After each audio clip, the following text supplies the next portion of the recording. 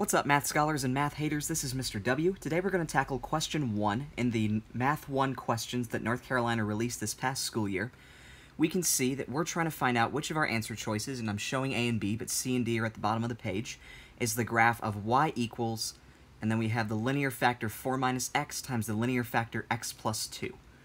To do a question like this, when you see it on your test, you'll need to know about linear factors and zeros of your functions.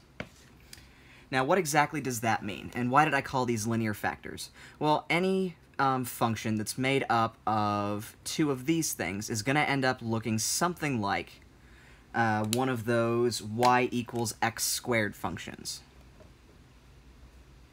And of course, there's probably some junk after all of that.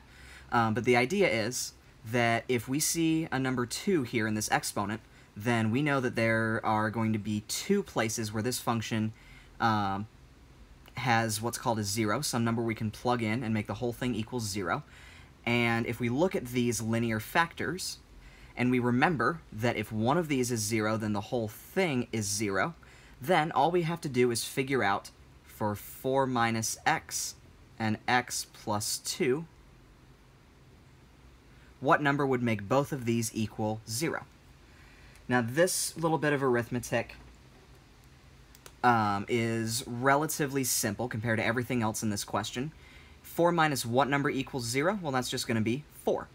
And what number plus 2 equals 0? That will be negative 2. So that tells me that I'm looking for an answer choice that has a 0 at positive 4 and negative 2. And as I look at my answer choices, I can see that in choice A, this parabola is hitting at negative 2. That's one of the ones that I wanted to see, so that one works. And then it comes up and hits at positive 4, so that's the other one I wanted to see. Now, there's other things to consider here, so I'm not going to just assume that choice A is my answer. Instead, I'm going to look at choice B. And I look for 0 at negative 2, and there's none. Oh, there is one at positive 2, though, but that's not the one we want. And even though there's one at positive 4, uh, this isn't really, this isn't going to work for us.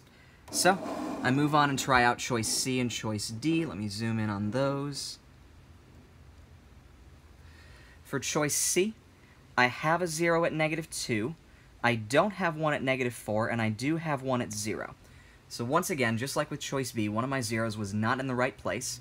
And as I come to choice D, I see one at negative 2, I don't see a 0 at positive 4, I do see a 0 at negative 4, which I don't want.